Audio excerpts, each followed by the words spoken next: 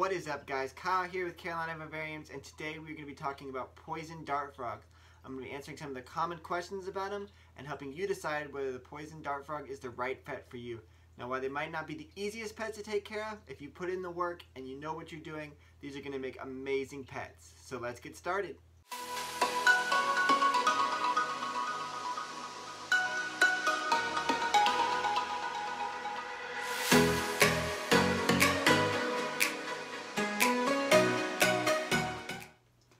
So because of the name poison dart frogs, there's a lot of misconceptions about these frogs.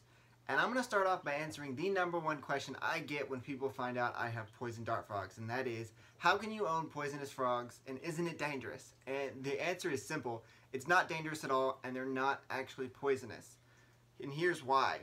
Now poison dart frogs inhabit mostly this range in South America, and it's here that they have access to their natural food source, which when eaten allow them to produce the toxins that give them the name poison dart frogs.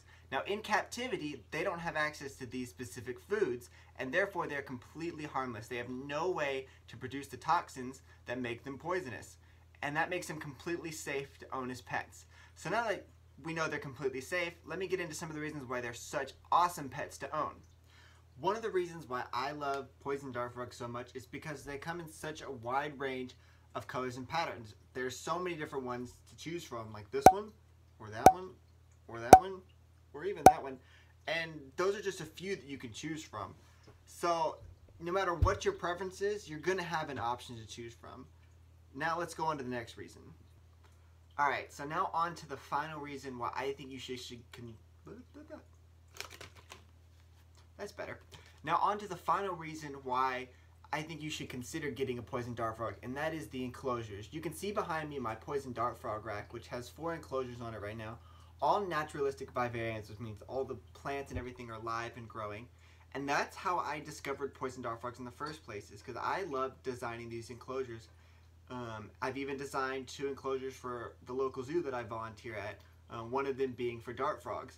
And there's so many options. You, the sky is the limit when you're designing these enclosures, and it, that's a lot of the fun of owning reptiles and amphibians is designing these enclosures and making them naturalistic. Um, but here's some examples of vivariums. There's this one, and there's that one, there's also that one.